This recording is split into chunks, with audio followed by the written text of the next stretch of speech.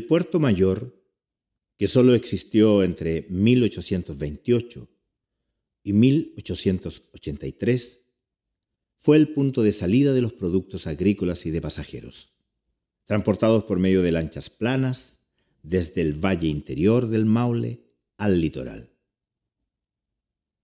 Hasta inicios del siglo XX continuó como puerto menor, apreciándose las majestuosas formas de los barcos de paletas y vapores. La llegada del tren en diciembre de 1915 hasta Constitución dio origen a pequeños poblados agrícolas siguiendo la línea férrea, generando trabajos dependientes estrechamente del ferrocarril. Fue la época dorada del balneario maulino, la Belle Époque. Lujosos hoteles como el de la Playa, el Plaza y el Venecia competían por atraer a la clase alta chilena. Esta sociedad patriarcal contrastaba con los pueblos rurales interiores que constituían una comunidad aislada e inmóvil. Las diferencias de clases estaban bien marcadas. La vida se desarrollaba según el itinerario ferroviario. Parecía que nada cambiaría, la misma rutina diaria entre cerros. Apenas se oía hablar del progreso que pasaba de largo junto a los trenes. Hacia 1930 se abren otras rutas turísticas más cercanas a Santiago, como Algarrobo, Viña del Mar y Cartagena es el declive de Constitución como balneario de lujo. El escenario es ocupado ahora por la clase media emergente, potenciada por los gobiernos radicales entre 1940 y 1950. La locomotora a vapor es desplazada por máquinas diésel. Surgen oficios tradicionales, bufeteros, cantineros, venteras, cantores, cargadores, y un sinnúmero de personajes que deambulan por este tren republicano. A fines del siglo XX, el tren es reemplazado por un buscarril a petróleo de dos a tres carros, herencia final para los escasos habitantes rurales de las tierras pobres del secano costero. En el año 2014, se cierra la estación González Bastías, la última que permanecía en funciones de las 17 que alguna vez tuvo el ramal ferroviario.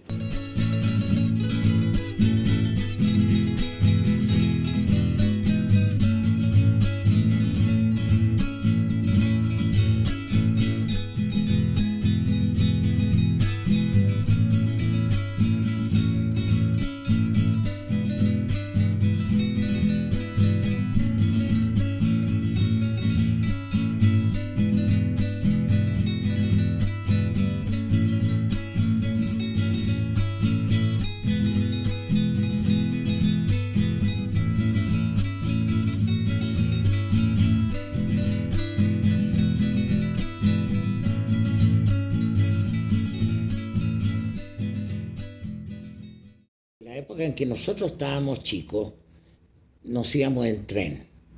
Ya con este espíritu de que llegó el verano, terminó el colegio, ya no íbamos a constitución. Como cuando, chicos esperábamos la noche de Pascua para tener los regalos. Mi mamá hacía unos baúles tremendos de madera forrados en arpilleras, que eso lo mandaba por carga.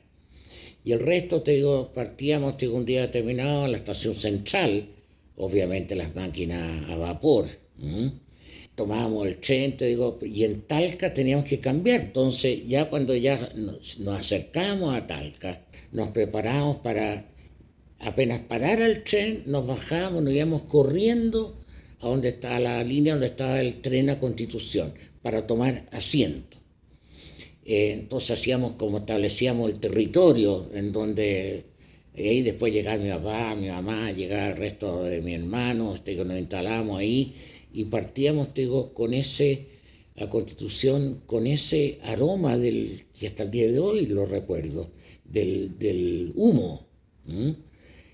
Porque uno lo asocia con, con, momentos placenteros. La construcción del ramal de Talca a Constitución responde a una cosa de orgullo, responde a una cosa de que la clase alta talquina necesitaba tener un símbolo, necesitaba tener un, algo que lo diferenciara o, siquiera marcando la diferencia respecto a otras clases altas agrarias de la, de la zona del Valle Central. Se considera a sí misma una clase moderna. Y por ende me da la impresión de que se busca asociar o hacer efectivo esta, este concepto con, con, con el tren. La oligarquía o la clase, la clase alta talquina busca tener un, ferrocarril, porque el ferrocarril en sí mismo es símbolo de progreso y es símbolo de modernidad. Pero ese acerribismo, esa, ese estilo señorial, va asociado a la posesión de la tierra. Y, y, en este tiempo la posesión de la tierra da acceso a la política. ¿Por qué el, el Estado construye una obra como esa? Y en Talca, la influencia del poder político es muy grande. El hecho de que en Santiago la mayoría de los políticos que residían en Santiago tenían su origen rural, tenían por lo menos propiedades en Talca, me parece que fueron un elemento importante para activar al gobierno a tomar, a tomar una decisión como, esta.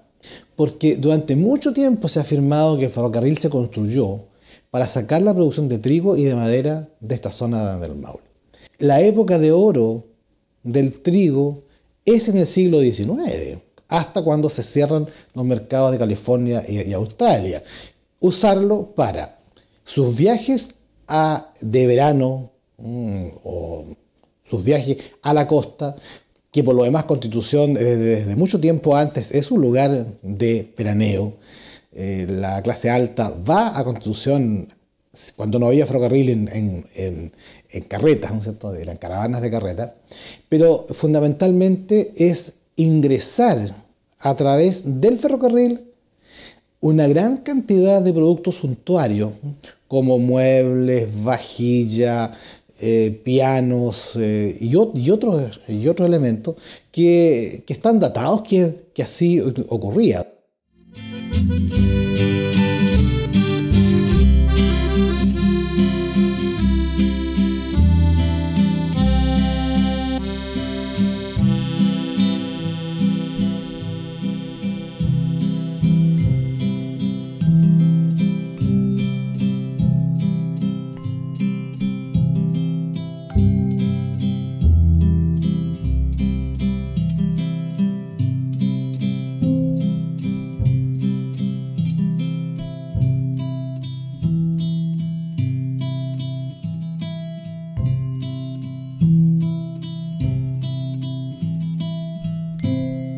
que las tierras que se ocuparon para construir el ferrocarril no son tierras agrícolas. O sea, si nosotros vemos por dónde corre el ferrocarril, que está a la orilla del, río Maule, esas tierras no tienen utilidad agrícola.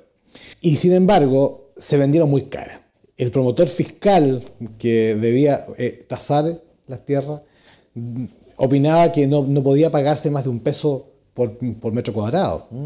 Y sabemos que personas como eh, el señor McKeever eh, llegó a recibir, a cobrar hasta 5 pesos por un metro cuadrado. Lo que vuelve a mostrar nuevamente la, el poder político de la, de la clase dirigente. Entre 1880 y 1915 dicen de que el costo total de la construcción de la línea férrea a la época de 3.221.164 pesos. Esto es una cantidad grande de dinero para una obra provinciana. Eh, pudiésemos probar que efectivamente era económicamente rentable, bien la inversión. Pero desde el momento que nos caben dudas de que haya sido rentable, es una inversión que cuesta justificarla.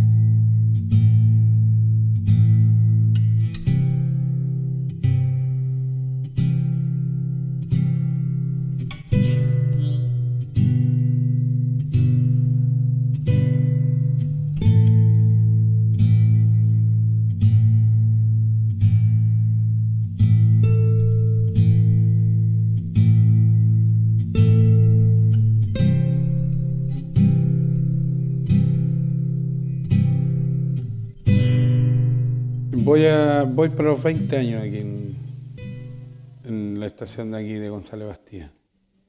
¿Qué gente usa el ramal? Bueno, toda, toda la gente, o todo tipo de gente. Eh, la gente que quiere llevar sus productos a la ciudad, la gente que quiere llevar eh, eh, por diligencia médica, para poder ir a estudiar también, para tener acceso a, a los colegios, los niños. Como ser la gente que tenemos acá del lado de las cañas de Mingre, que se llama, está al otro lado del río. Ellos tienen que trasladarse en carreta hasta la orilla del río Maule, después pasar sus productos en los botes y llegar al, trencito y hacer su viaje de tanto a Talca a Constitución, pero casi siempre a Constitución, porque ahí tiene mayor valor sus productos. Antiguamente era puro tren de pasajeros por el hecho de que no teníamos carretera por la, para Constitución. Entonces todo se movía por eh, ferrocarriles. Ese fue el boom de este ramal. Ahí la época de oro, llamemos, donde el tren era lo más importante, pues, los pasajeros. Dicen que llegaron a haber como 24 personas vendiendo acá. Eh, esa, ellos, todas esas personas, detrás de ellos había una familia. Muchos, algunos llegaron a ser ferroviarios también. Un mundo de, dinero, ¿eh? porque aquí llegaban los trenes, como llegaban a cada rato los trenes, ellos salían con sus productos, que era la tortilla, la humita, eh, los pollos, fiambre, huevo duro, se vendía fruta también. Se vendía fruta, uva, higo. Casi todas las familias eran numerosas. Como en ese tiempo no había luz por estos lados. Así es que sus 12, 14 hijos en cada familia. Entonces toda esa familia trabajaba que yendo a buscar la leña, ayudando a cocer las tortillas, haciendo humita, todo. Todos tenían su trabajo. Se nos caen árboles a la línea. Y también tenemos socamiento de la línea del río. Eh, tenemos dos o tres partes que son medias críticas. Entonces ahí en este, en estos momentos se están haciendo el trabajo. Y en eso, de repente la madre naturaleza nos dice, pum, voy a hacer este hoyo aquí y quedamos prácticamente aislados. Y si no hay recursos, quedaría cortado el ramal. Bueno, casi todos tienen sus su pequeños terrenos donde eh, trabaja la agricultura, tienen animalitos, tienen viñitas. Casi todas las casas tienen su viñita, su pequeña viñita donde hacen sus vinitos que también los venden. Hay varias personas que ya han tenido que irse por la forestación porque le han comprado. Entonces vienen los, los caballeros parece que son más aprovechadores que porque el Estado prácticamente les paga el terreno. Como uno no tiene acceso a esas informaciones, los más vivancos se llevan la cosa. Entonces compran ellos y, el Estado les devuelve la plata y la gente se tiene que ir prácticamente. Eh, hay casos donde han encerrado a personas, donde le han encerrado por todos lados, le ponen pino, no, el pino no deja crecer nada. Los árboles frutales los apolva. Y hay varias cosas que perjudican, seca las tierras también. Y aquí hay una ley que las quebradas no se debe plantar pino, pero ahí donde más ponen. Eh, no cortar los árboles, los árboles nativos. Ya poco los van cortando, los van secando. En el fondo, nada es regular nada, nada regular. ¿Cómo se hace todo en, este país? Este es un patrimonio que tiene el país valiosísimo, que nosotros no lo sabemos apreciar. Viene un gringo acá y queda maravillado, pero nosotros no miramos, no es que nosotros no sabemos mirar. Y tampoco la autoridad, la autoridad tampoco, porque la autoridad nació en una cunita más o menos y lo que ha visto puros vidrios, no, no ha visto la naturaleza. Ve por la tele no. ¿Cuántas venteras hay hoy día? En estos momentos tenemos una pura señora nomás y, en forma esporádica o ahora en el verano prácticamente eh, se agrega una o dos más que hacen tortillitas los fines de semana para poder abastecer a la gente que no, no, no dan abasto.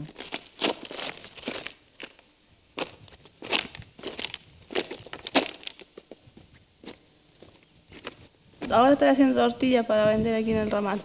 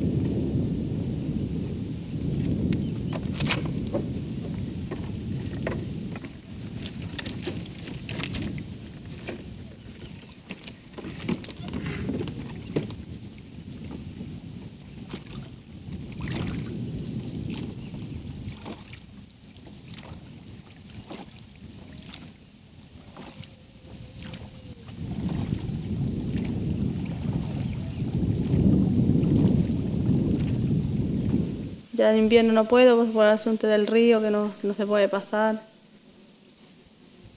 Y las leñas también, porque si no tiene leña guardada uno, la leña está mojada, no se puede hacer tampoco.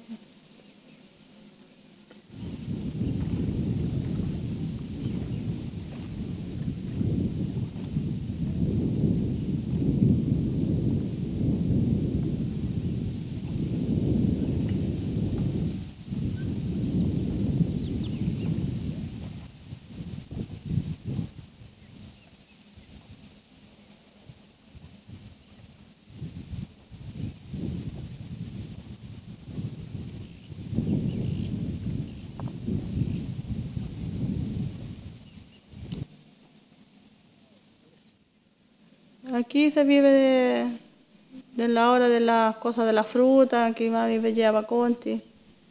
Y ahora las tortillas nomás, pues eso nomás, no sé. El tiempo después ya de la, a lo menos nosotros vivimos el tiempo de la vendimia, trabajamos la vendimia. Y después ya no, porque en vez del apuro esto nomás de, de las cosas que se venden en, en Constitución y aquí el, en la estación, las tortillas.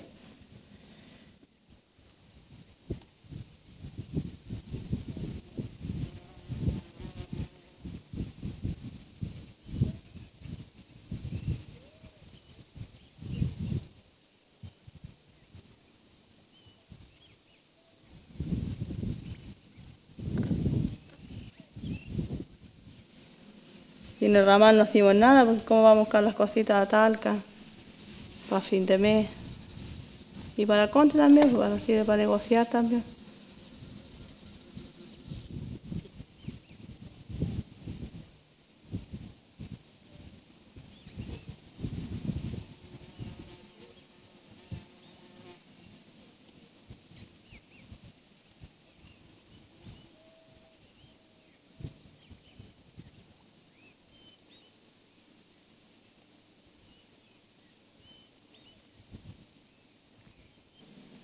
Yo me demoro como 15 minutos de, de la casa a la estación.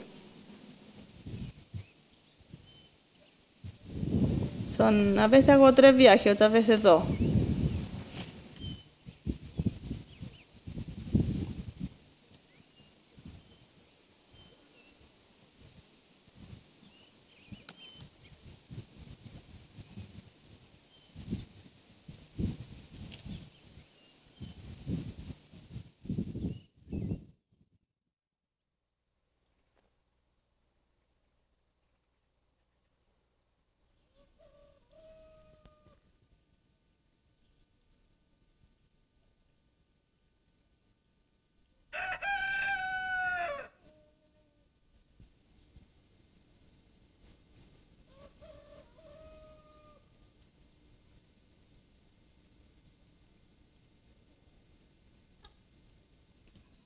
¿Usted cuánto tiempo estuvo trabajando como ventera? Como 50 años, casa nomás.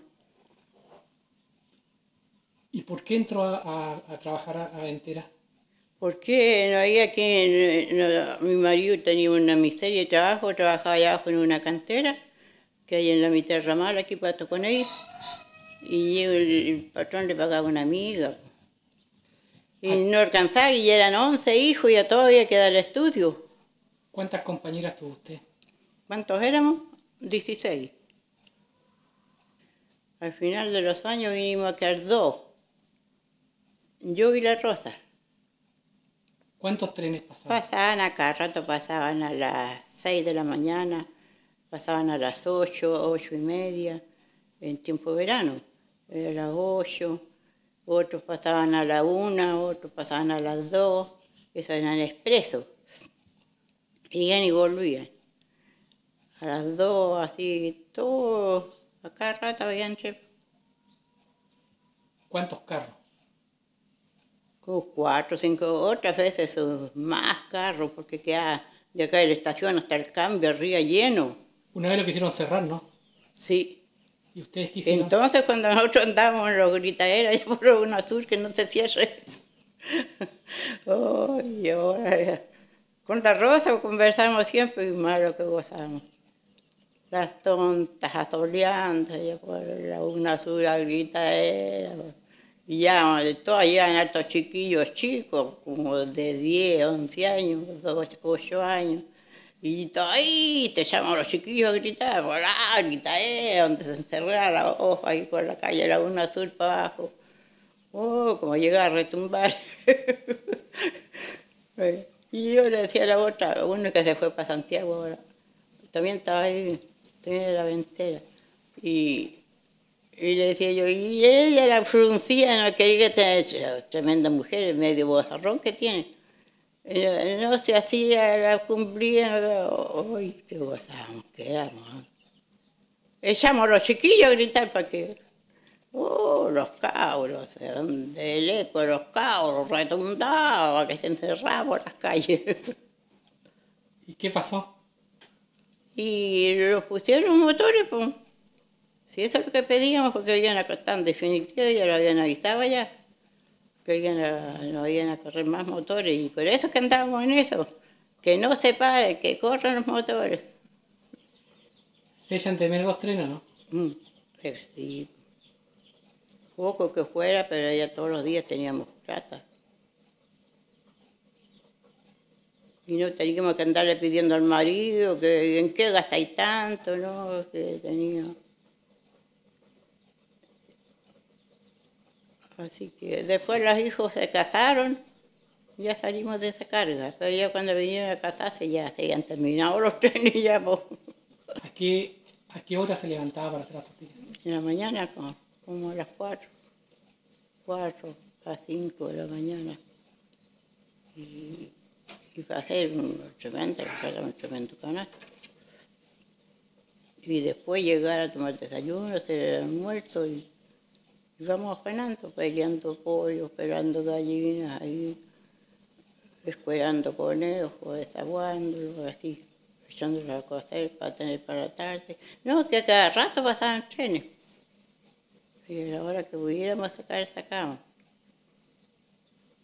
Daba para vivir, pero lo que pasó, trabajamos casi mucho y después de un repente se valorizó la plata. pues. La plata que después se cambió, ya no.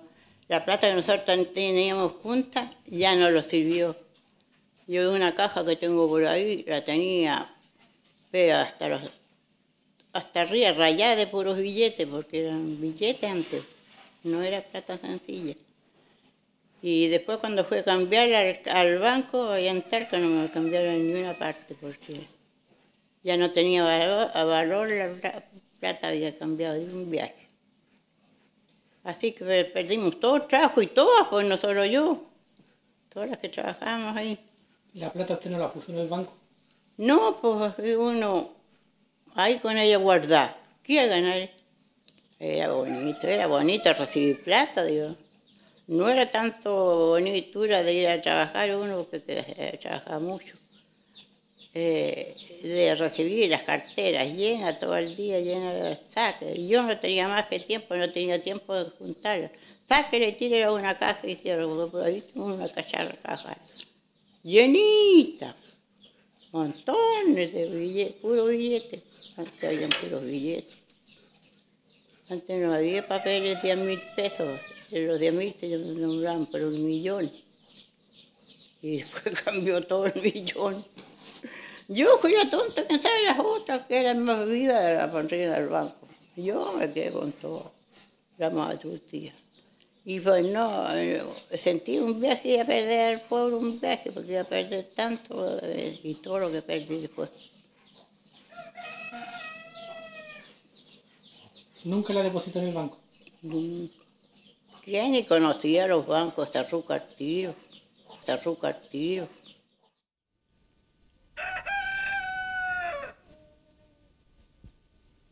Este latón se coloca aquí en unos, en unos durmientes gruesos y se coloca esta arenita, se coloca encima, esta arena de río, se coloca encima de la lata y debajo aquí se le aplica un juego de leña, harta leña, palo grueso y delgado. Se calienta esta arenita, después se saca, se, se retira todo de aquí el juego que hay a día, se, se barre y aquí se van colocando las tortillas. Y después se, tapa con, se tapan solamente con esta arenita, sin, sin leña, sin juego, con la pura arenita que está caliente. Después se sacan las tortillas y se raspan con esta latita. Se les quita toda la arenita que les quedó pegada y se, con esta latita se, raspa. Así que aquí trabajaba la tía aquí ella enterraba sus tortillas y las vendía en el tren después. A las 4 de la mañana ella empezaba a trabajar para tener las tortillas listas a las 8 y media, que es el horario donde pasa el tren, que donde se venden las famosas tortillas.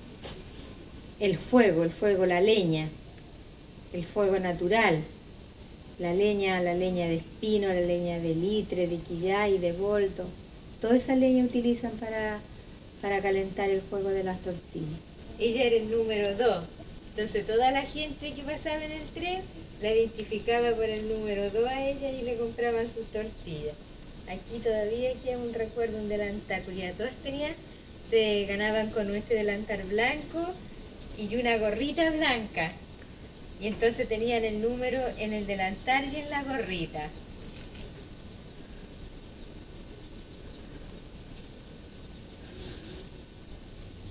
¿Cómo se le conoce a estas tierras? Las tierras pobres, ¿Por qué? por eh, el, o sea, don Jorge González Bastía la llamaba así, la llamaba las tierras pobres por, por su, eh, su soledad en, en el invierno y su, y su sequedad en el verano. último paquete. Este es por de la fuerza Soy muy, muy corto. A mí les va aquí, toma.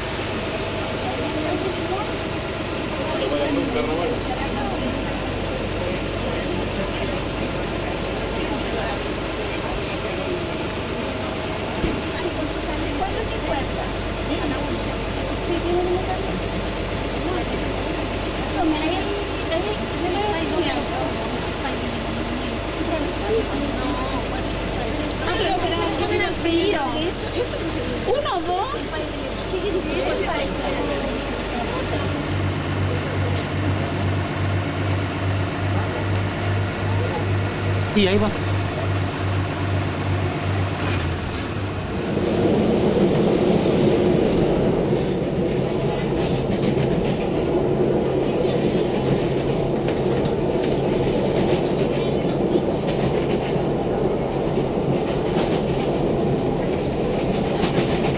Eh, González Bastía, ¿Tú viajas todos los días? todos los días. El buscarril es el único medio de transporte que tienen las personas que viven ahí, esa parte del ramal. Si se termina no, no hay nada, no tienen nada de, para movilizarse. ¿Todos los agricultores del área del Maule dependen del ferrocarril? Sí, solamente de eso. ¿Cuántas personas son en tu familia? En mi familia somos en este momento somos 10. ¿Y viven de la agricultura? Eh, los de ahí sí, pues. ¿Qué productos traes tú a Constitución? Ahora traigo humita, durazno, ya va a empezar la temporada de la uva, después empiezan la naranja y las verduras, de todo tipo de verduras, cuando ahí está la temporada. ¿Tú desde cuánto viajas en el ferrocarril? De que nací.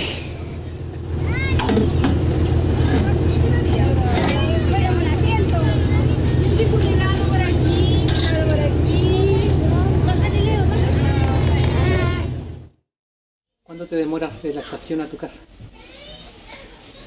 Supongamos media hora, porque como llevo muchas cosas en acarrearlas, voy y vuelvo, voy y vuelvo. ¿Alguien, alguien te viene a, bu- a buscar?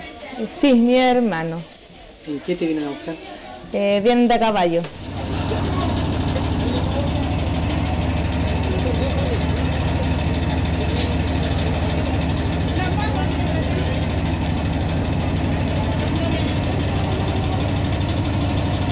Triciclo que iba a tirar la gente del ramal. Eran los bultos para allá, para La Vega. Para traerle de La Vega para acá. ¿Hace cuánto tiempo se dedica a esto? Cuatro años más o menos estoy. ¿A usted le sirve el ramal? Sí, po, mucho. Y a varios. No tan solo a mí. Porque mismo mis caseras, si no vienen ellas, yo no tengo una pega. ¿Usted trabaja todos los días? Todos los días. Domingo, todo fiesta, todo, todos los días. ¿Hay meses que son mejores que otros? Sí. ¿Cuáles? Bueno, según igual que como los días, pues hay días buenos y hay días malos. Entonces ahí, claro que los días de verano, ahora el mes de verano son mejores que en el invierno. En el invierno en vez de no lo alcanza para la olla. ¿Qué pasa si el ramal se termina? No, pues ahí quedamos todos sin comer, pues varios quedamos sin comer, pues y la gente va a llevar sus cosas, puede comer también porque trae su negocio para acá. Tiene que hacer plata para comer también. Dice ¿Es bueno el negocio del transporte en triciclo? Sí, teniendo su clientela, sí. Pero hay que tener su clientela, y si no, no, no es bueno. ¿A cuántas personas usted atiende en el ramal? Oye, yo aquí tengo como algunas siete personas, tendré más. más. Y mismo tengo una clienta al lado aquí, y de todos los días cuando ella viene. Uno viene, me manda. Sí. ¿Cuántas personas son en su casa? En mi casa somos tres, cuatro, seis. Seis personas. Y a todos hay que darles comida. ¿Y su trabajo da para mantenerla? Sí, en este tiempo da. Da para mantenerla. ¿Y qué pasa en los meses malos de invierno? Bueno, ahí hay que pasa más estrecho nomás uno, pero de todas maneras eh, alcanza. Pero más apretado sí. Sí, el ramal es muy útil. Y para todo, como le digo, para los que vienen con su negocio, para los que trabajamos aquí, porque si ellas no vienen a vender, yo mismo que trabajo en esto, ¿cómo, qué gano? Y ellas si no vienen a vender de allá, ¿con qué compran sus cosas de comida también? Entonces el ramal es necesario.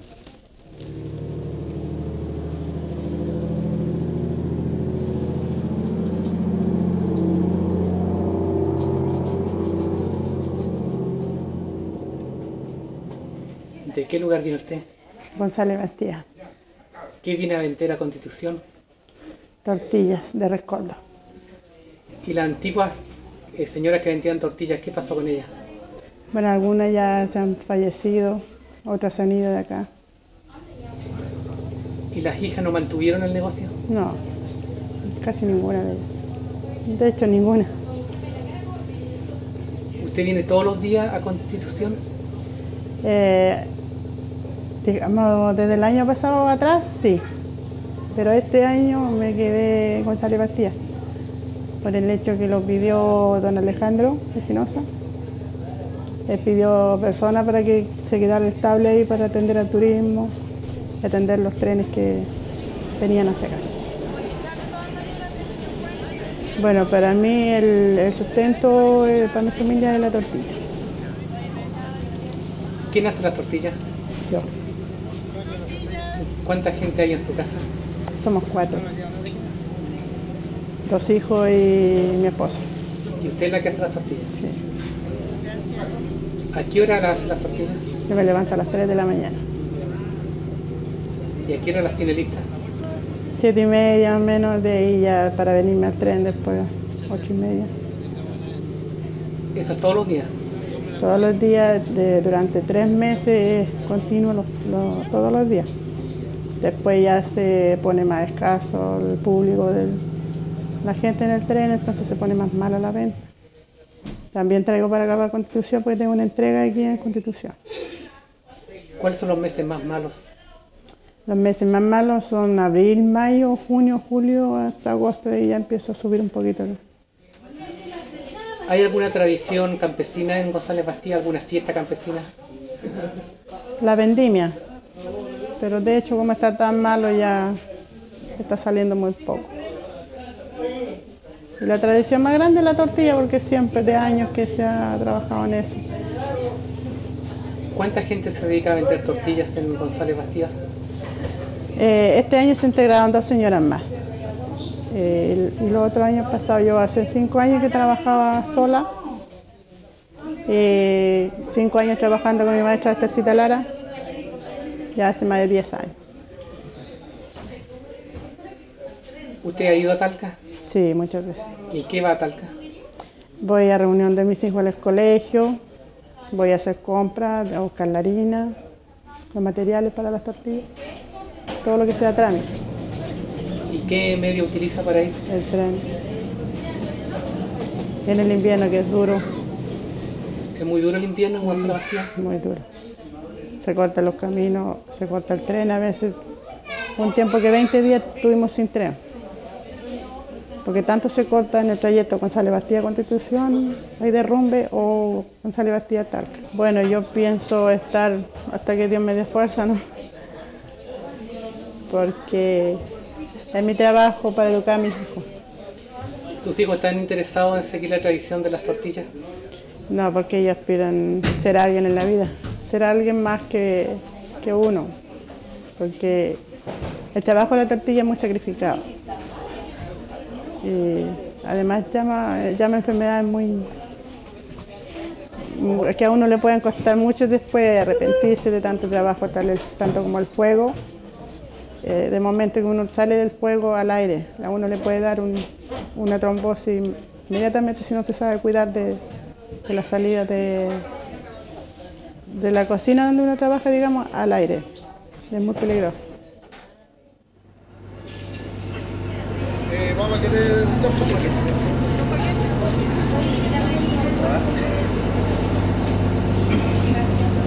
Eh.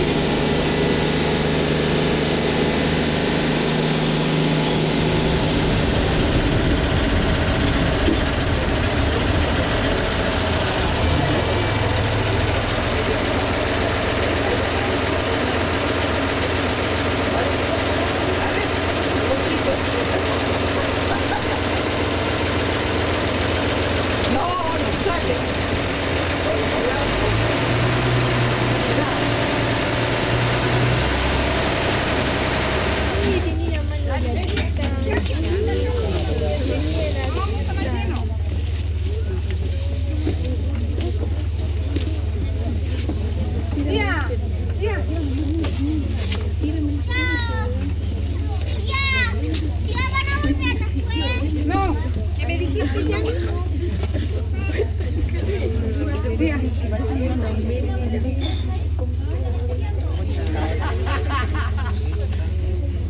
¿Por qué este ramal ha sido el último en subsistir? porque la gente no tiene otro medio, otra alternativa de salir eh, y de moverse hacia los puntos importantes, como son Constitución y Talca.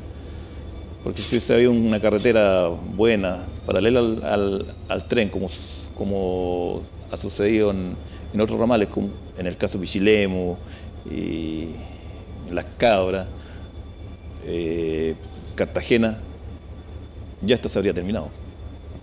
Eso, eso, eso yo creo que ha sido lo principal.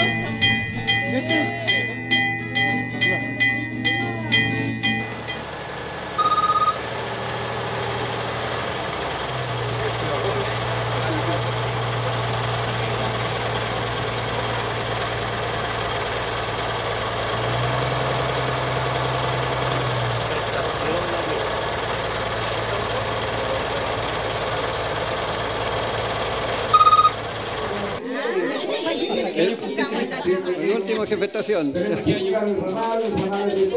Hola. Hola, mi viejo. ¿Cómo estás?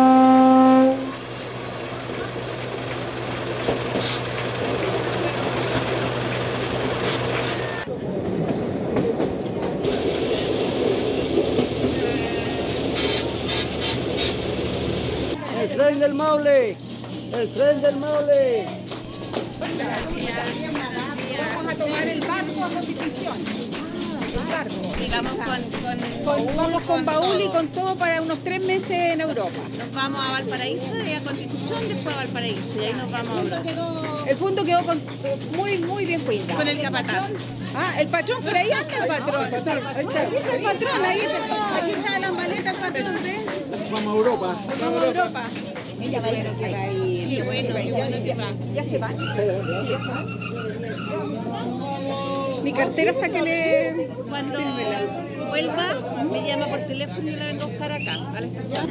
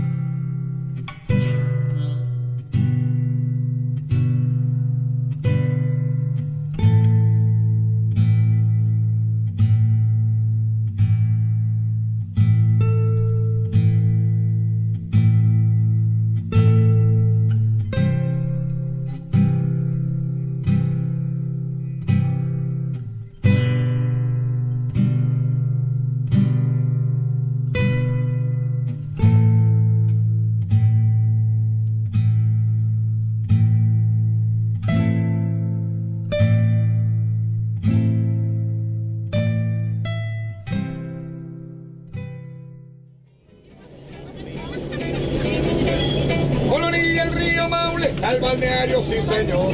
Nos vamos en trencito rumbo pa' Constitución. Por la orilla del río Maule, al balneario, sí señor. Nos vamos en trencito rumbo pa' Constitución. Chiqui, chiqui, chi, se demora, sí señor. Chiqui, chiqui, chi, dos horas de Marisol.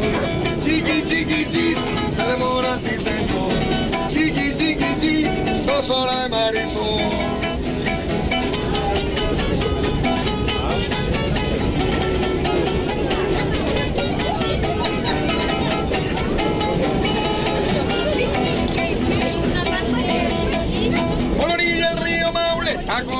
Sí señor.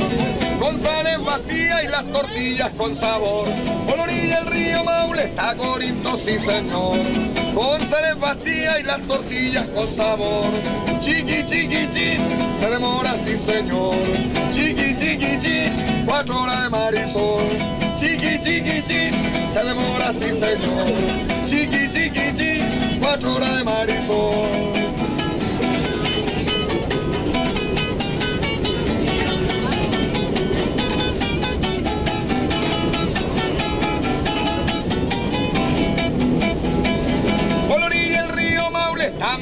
así señor. Estamos en la playa y el trencito ya llegó.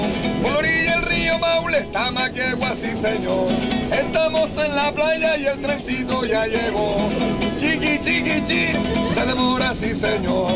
Chiqui, chiqui, cho, cuatro horas de marisol. Chiqui, chiqui, chi, se demora, sí señor.